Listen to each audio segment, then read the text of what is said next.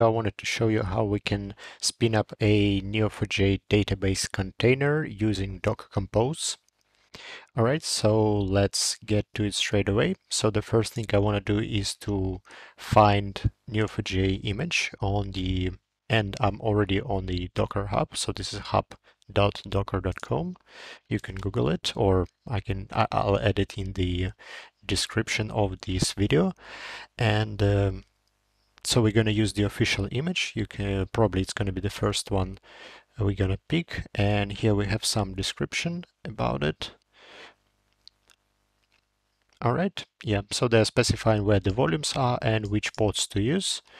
All right, and uh, I'm actually gonna use Docker Compose for um, to spin up the container because later on I'm gonna join it with Node.js application.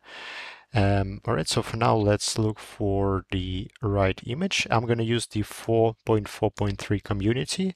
Um, there are several reasons behind it because I wanted to stick to specific version of Neo4j because they bring different changes from version to version. So I don't want anything to crash in case of updates. And uh, we are using community because enterprise is obviously a paid option. Um, all right, so I'm going to create a directory called docker neo4j.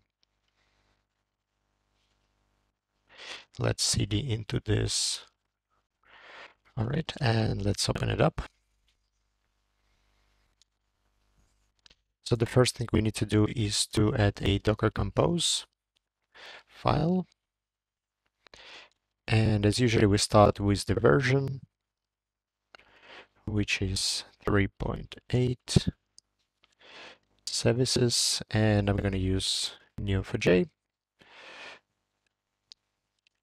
And the image is going to be Neo4j and the tag which we can copy from here.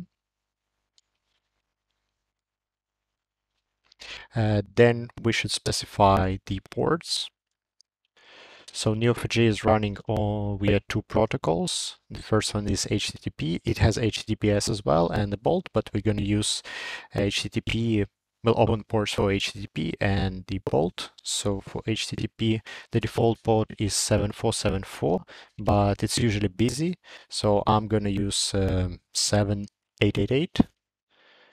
And for the Bolt protocol, the default port is 76 87 and I'm going to run it on 7999. Right, let's save it for the correct indentation. Next thing I'm going to specify about restart options. So we want it to restart only, uh, we don't want to restart it unless it was stopped.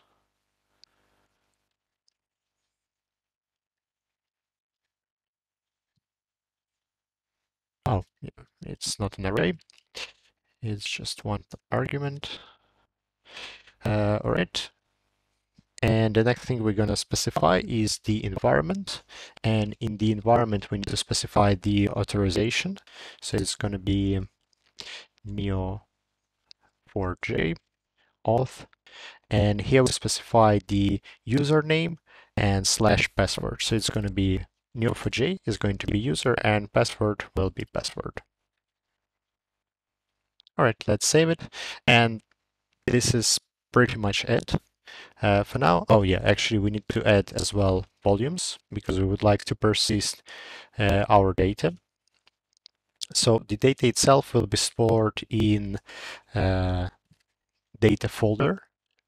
So I'm gonna create a uh, DB folder and with the same name, but we don't want to just create volumes for data. I would like to create uh, volumes as well for config, for logs, and all the plugins which we're going to add. All right, so I'm just going to copy paste them. If you're using Mac, you can do it using Option Shift and arrow down in case if you're wondering. So we're going to add as well here config. It stands for uh, the folder is conf and then we're gonna add logs and the last one is plugins all right so yeah, let's test it out and see if we got the everything is correct. So let's run docker compose up.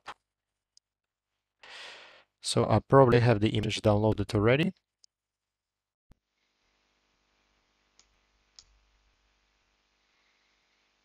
All right, we're getting some warnings for the first run. All right, that is fine.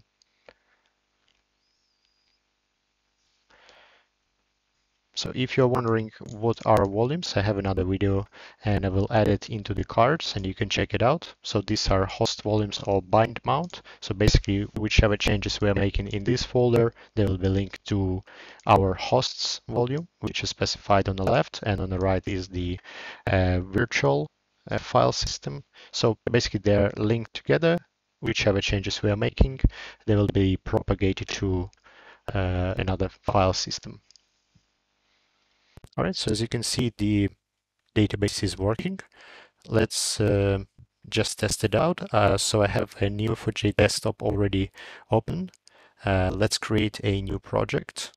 I'm just going to name it Docker. And here let's add a remote connection. So we specified the port 7999. I'm going to use it. So here 7999. And here I'm gonna name it just new neo4j test. Uh, let's click on the next. So the user which we specified is neo4j and the password is password. Right, and uh, yep, it's uh, connecting automatically to it. Oh no, it's not. so it's connected now, and let's open it up. And Yep, so we got the Neo4j browser and let's create uh, some node and test if the volumes are working. So I'm going to create a node user. Uh, it will be user with the email address and it's going to be something like this and let's return this user. All right, so as you can see, we created one node and uh, yeah, let's close it up for now. And let's disconnect. And let's stop the container. And we're gonna run docker compose down. And let's start it once again.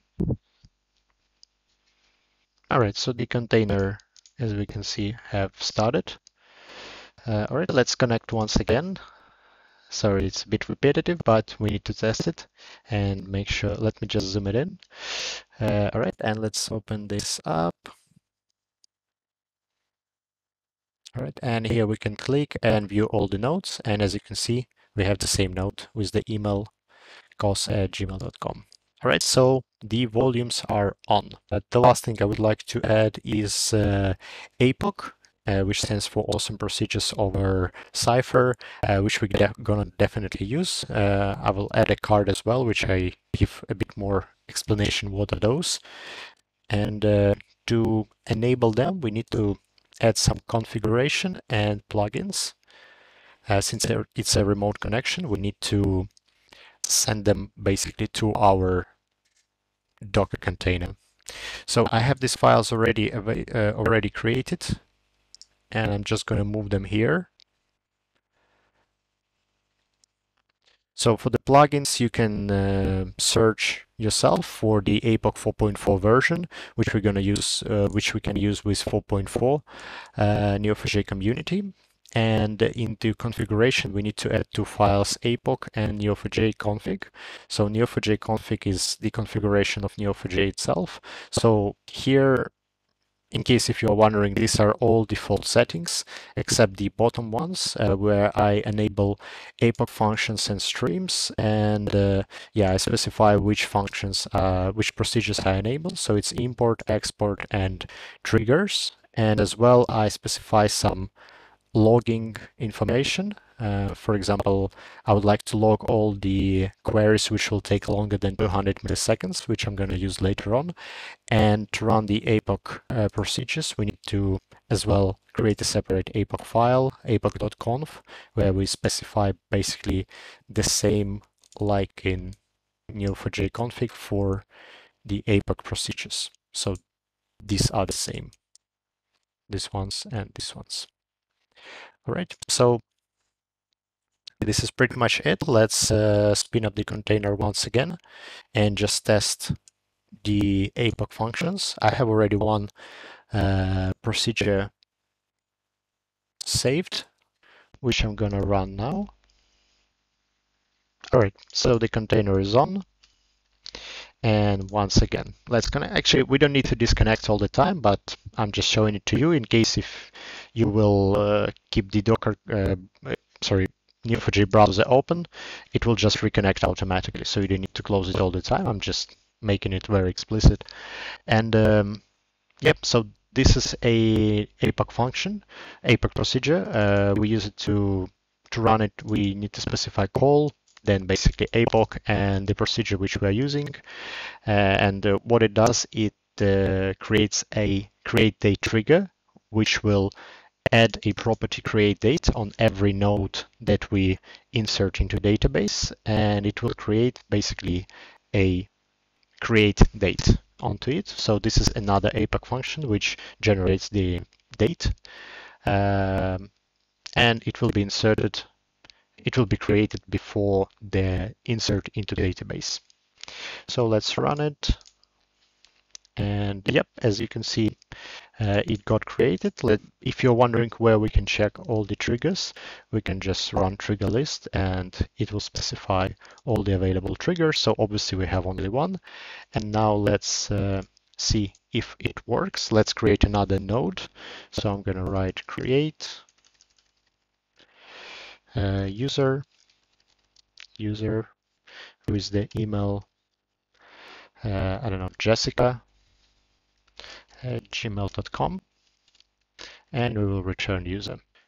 All right, so Jessica got created and uh, obviously here we didn't get anything, but if we will check all our nodes, as you can see, the first node which I created, the first node node I created, it has only two properties, but Jessica now has create date.